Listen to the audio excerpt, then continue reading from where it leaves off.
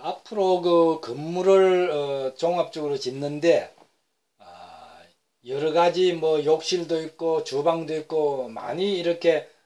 어, 그 구조가 연결되겠지만은 어, 장작을 떼는 그 아궁이 방을 하나 만들겠다 하는 그런 그 어, 경우에는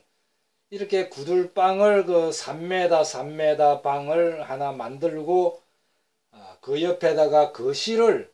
이렇게 하나 만드는 아, 그런 그래서 이 두 개는 그 아궁이 장작을 어, 떼면서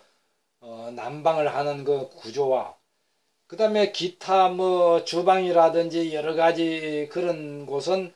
어, 기름 보일러라든지 뭐 이런 어, 강제 온수 순환 보일러라든지 또 아니면은 그 난로를 놔 가지고 열 복사 난방으로 해 가지고 어, 실내 공기를 데우는 어,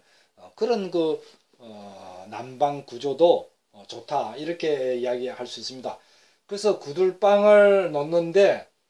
아, 거실까지 그 뜨겁게 할 그 이유는 없는 것입니다. 아, 물론 뭐 돈이 많아 가지고 어, 기름 보일러를 놓는다든지 여기도 아궁이를 장세가 장작을 많이 뗀다면은 뭐 거실도 뜨겁게 살 수 있겠지만은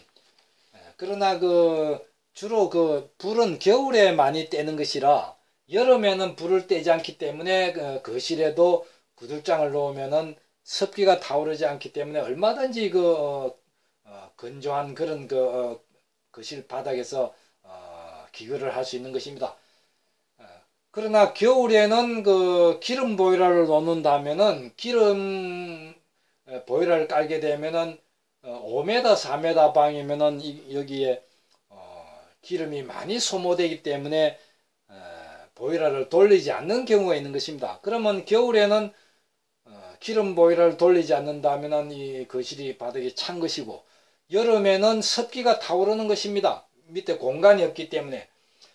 그래서 구들방과 구들방을 그 만들 때 잠자는 그 작은 방만 이렇게 어, 뜨겁게 구들 정상적 놔가지고 주로 그 24시간 구들방에서 겨울에 생활을 하고 아, 운동이라든지 또 무슨 그 어, 낮에는 어, 햇빛이 나면은 거실도 따뜻한 그런 어,